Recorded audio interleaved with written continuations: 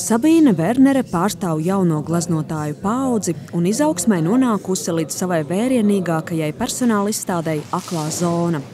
Vērienu tai piešķir arī fakts, ka Sabīnes Werneres gleznas Latvijas Mākslinieku savienības galerijā izstādītas līdzās pašmāju klasiķu darbiem.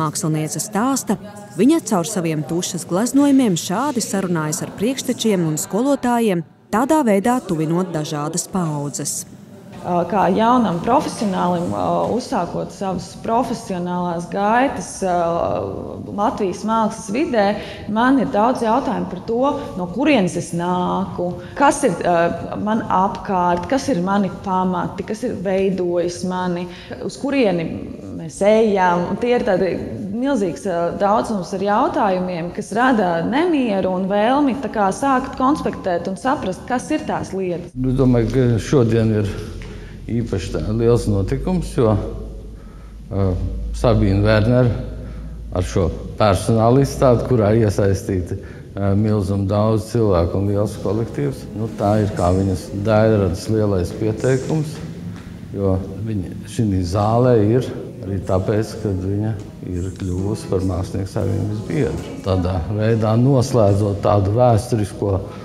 loku, Izstādē Sabīnes Werneres Daļrade bijis kopā ar Latvijas mākslas dižgaru mājas tabakas, Borisa Bērziņa, Aijas Jurjānes, Helēnas Henriksones, Birutas Dēles darbiem, kas glabājas Latvijas Mākslinieku savienības muzeja krājumā. Izstādes veidošana bijis kā savu veidu pētījums un īstenošanā iesaistīti mākslinieces domu biedri. Manuprāt, runa ir nevis tikai par konkrētu paudzi, bet varbūt par mūsu attiecībām ar vēsturi vispār. Tas man personīgi noteikti ir bijis tāds atslēgas punkts, ka caur šo pētniecības procesu saprast gan to 20. gadsimta sarežģīto laiku un pārēju arī no padomju savienības uz vienkārši neatkarību, kā tas viss ir veidojis to mākslas vidi. Līdz izstādes noslēgumam 10. septembrī turpat galerijā iecerēti arī vairāki sarunu vakari un lekcijas. Zāne Brikmane, Pēteris Barkevičs, Latvijas televīzija.